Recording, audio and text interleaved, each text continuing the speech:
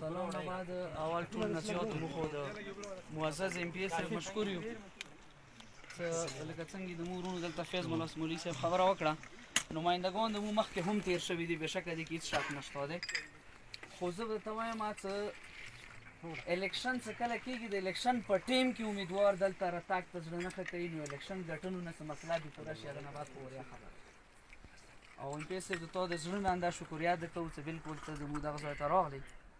مسائل خو لکه څنګه د مرګرو ډیر د تبیان کو زو مختصر د تبیان چې د ژوند د تیرولو د انسانیت د پاره چې کوم شیونه په کار وي هغه یو هم دلته نشته دینه غاټه د دغه د بدقسمتۍ د مو خبره بل نشته ده چې د ژوند تیرولو څه کوم هم سہولات دي چې هغه کې د مو انساني حقوق هغه ته د ژوند تیرولو دغه ورکه یا یو دلته نشته ده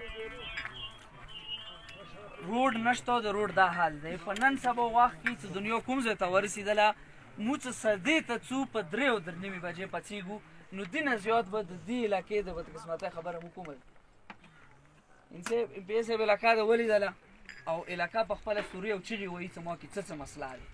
د بینولو ضرورت نشته ځکه چې خې ډېرې او ان شاء الله د مو زما د راتګ دلته د مو مقصد هم هم دا و چې ته راشي په خپل د علاقه وکسي کین یوال د ایم پی اس اف دلته دی چې د ته مو د روډ خبره وکړله او شکریا مو پاندې د کوڅه د دې اند الفاظ مو سره څه چه ته وکو څه چه ته لوړ شو د علاقه په خپل وکسو دا د دې خواهش ظاهر ک مو ته ضرور مسله وکړه دې خواهش ظاهر ک او الحمدلله ما غا ودی بندی دوه مو سره پورا وګرځید څه دا د روغ هم غو نو د شکریا خو الفاظ نشته د مسائل و انبار د ام پی اس بس دا به د تراپیست وی څه کاینډلی د علاقه ته په خپل ولې دا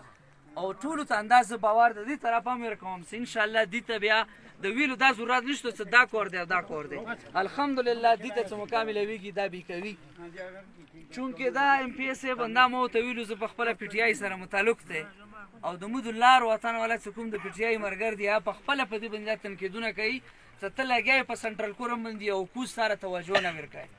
نو حقیقت د درد دل په دې دی چې پیسا فند به هغه ځای کې لګی چې کوم ډیزرونګ او کوم خلکو ته ضرورت وي نو د ایم پی ایس صاحب لکه څنګه کوزه خبره وکړه چې ډېر خلک یې هېڅ دو سنټرل کولم والا دی دو پړې دی نو دې خبرې کې شاک هم نشته دی ځکه چې یقینا الحمدلله ټوله توجه یې دلته ورکړې دی موږ مشکور هم یو د ټولو مشرانو المایکرانو مشکور هم یو خواندغ د دي غونډي په وساطت سره زه د خپل څه کوم دلته د علاقې والا مشرانو دوی ته هم یو سوال یو غراز کوم څه هغه دا دی څه مهرباني وکړئ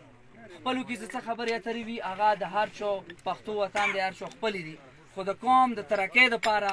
د قوم د مخکې د تاک دپاره سوال درته کوم دا موږ تاسو کشران یو موږ تاسو ټول د قوم بچي یو څوک یو سوچ وکوي د خیل ټکی ونه ورک کوي صرف د قوم سوچ وکوي هیڅ قسمه پارټي بازی هیڅ قسمه کیسه ور کې ما راوړوي